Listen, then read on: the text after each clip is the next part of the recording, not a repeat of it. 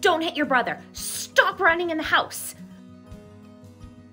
Did you know that a child's brain is five times more likely to pay attention to negative versus positive information?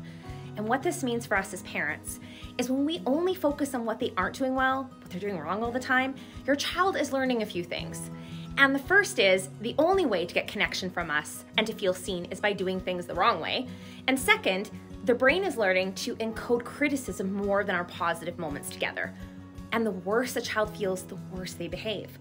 I learned this strategy as a teacher and now I use it as a parent every single day. You want to see big changes at home? Catch them being good. Focus on the skills or trait you want to see.